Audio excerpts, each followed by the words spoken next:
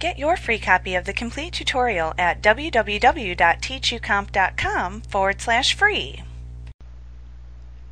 You can also create parameters in your query criteria that will prompt you to enter in the value, which will then be used as the query criteria value for the query before returning the result set.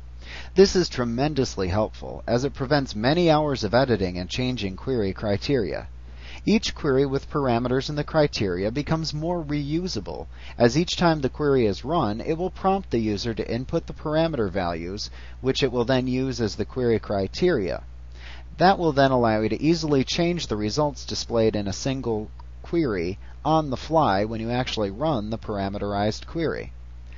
So for example, let's say that we had a query that showed the salespeople the total amount of their sales for any given order date.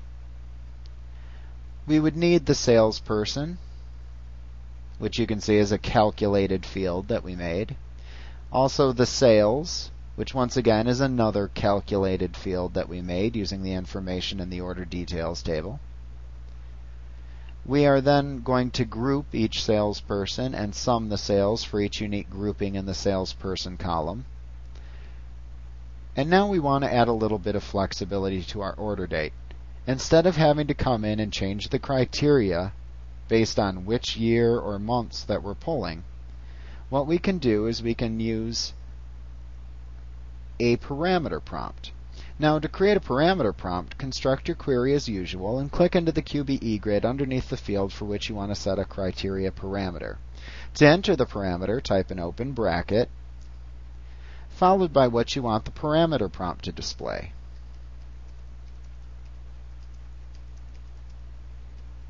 And then a closed bracket. Parameters used in conjunction with other operators and conditions like the between and clause can be extremely helpful. So here I'm actually going to put in two parameters and use the between and clause to pull any order dates between whatever they type in for the first date and whatever they type in for the last date.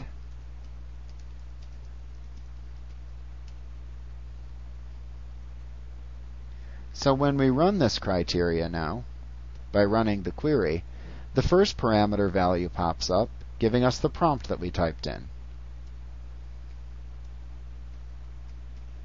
And then we click OK and then the next parameter prompt.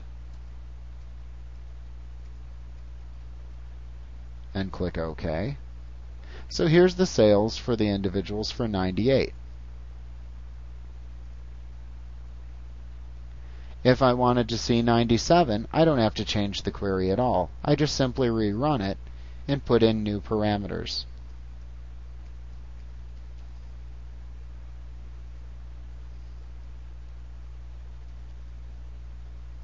And so here's the sales for 97. And every time that you would run that query in the future, you would have to re-enter the parameter values, producing a different result set without ever having to edit the query again. At this point, our queries become much more reusable. Like what you see? Pick up your free copy of the complete tutorial at www.teachucomp.com forward slash free.